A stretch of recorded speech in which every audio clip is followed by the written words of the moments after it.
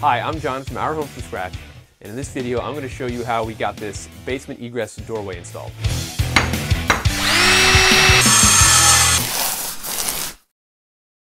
So we just got this egress uh, walkway installed out of our basement, and the reason we did that is we are uh, about to refinish our basement.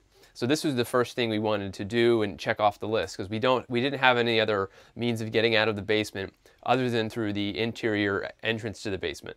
And and that entranceway isn't one straight shot of stairs down into our basement. It, it's a 90 degree turn.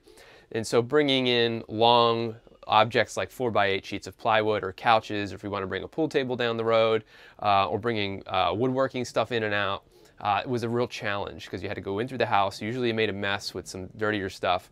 So we were looking at either an egress window or an, or an, egress door. And because of our existing steps in the basement, we preferred the, this egress doorway. Um, but first we had considered uh, just a basic egress window as a way of getting in and out. Um, so that egress window um, wouldn't allow us to bring in those big objects like pl plywood and all that stuff, but it would, would allow us sort of for like a safe exit during a, some kind of an emergency. Um, but we ended up going with this doorway, uh, and it's a full-size 80-inch door. It's pre-hung, and it sits in here uh, pretty nicely. So in this video, I'm going to show you what the contractors did um, from start to finish so you can kind of get have a sense of what the process is like and what the cost is like. Um, so we'll go into that demonstration now. So this is the wall in the house in the backyard where we had these egress installed. And you can see this is what we wanted, the basic look, to have a lintel over a doorway. So we started out with uh, the contractor brought in his backhoe and cleared all this dirt. And you know, just to give you some perspective on what it would be like to shovel this out, this was a lot of effort. And um, if you don't own a backhoe, this isn't something I'd recommend this type of project to do yourself just because of all the excavation required. It's, it's pretty significant. You also need some place to put the dirt when you're done. And then you need to take a, they took a, basically a concrete saw, gas powered, and made this cut both on the inside and the outside uh, along the doorway lines. And uh, it's a lot of dust. And you can see we kind of put up some dust protection, some water protection, and had to pull the insulation off the wall.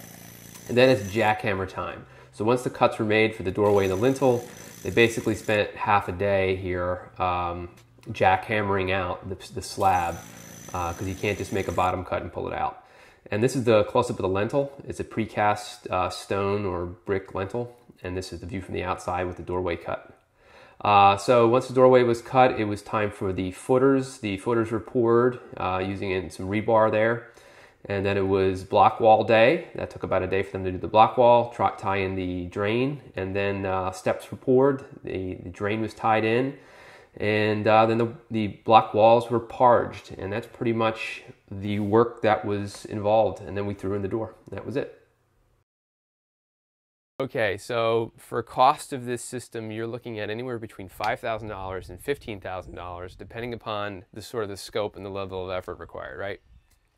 So um, we had better luck with contractors, finding contractors to do this sort of system um, by looking at general contractors or contractors that specialize in block and concrete work. Now that sounds like a no-brainer, right? But at the time, initially, we started looking at people who were who specialized in basement egresses. So if you go to basement egress folks, they generally are trying to put you into an egress window solution or a Bilco door solution, which we weren't really inter interested in. We wanted this more completely open, you know, poured concrete steps thing.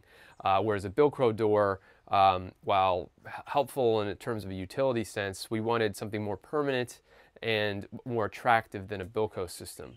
Uh, so we started shifting and looking at general contractors that do masonry and concrete work, and we found a few that came out and gave us some, some bids for this work. And again, those bids, bids varied pretty wildly.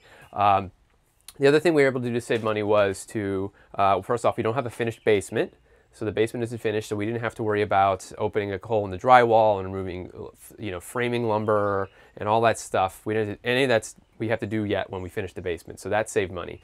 The other thing is we installed our own door. So I, I asked the contractor basically just to do all the block and concrete work and I would do all the finishing. So that means putting in the pressure treated lumber to support the, the opening of the door um, and then installing the entry door ourselves with this PVC trim and then caulking it all.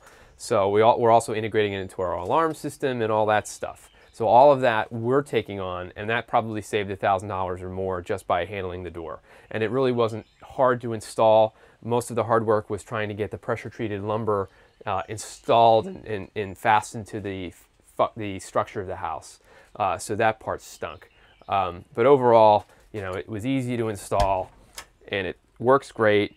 So we still have some more stuff to do with the door. When we finish the basement, um, the basement wall and it's all framed out, we'll have to push this door in so the interior side of the door is flush with the rest of the wall. All right, so this is just a standard um, sort of entry door for a uh, two by four stick built house. So you have a certain jamb width.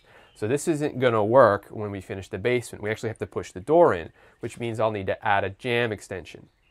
So in a future video, I'll be showing you how to add a PVC jamb extension so you can, if you have a thick concrete or block wall, you can still get by by using an, uh, a standard entry door. Um, we could have also ordered this entry door with a longer jamb, but that would have cost, that, was, that would be a customization that would have added uh, a, a ton of cost. That's something we could do for under 100 bucks ourselves, so we'll do that later as well. Uh, the other thing we're going to be adding is some guardrails on either side. Uh, they need to be 36 inches above grade or above the level uh, to keep people from falling in or kids or animals, uh, along with a front gate that we can lock and open again to keep other stuff out. We'll also be finishing some landscaping in here. Uh, so we'll add some weed screen and some river stone and we'll sort of tie it into the rest of the landscaping. Uh, so you'll see some videos on those coming out and then we'll be shifting gears and finishing the rest of the basement.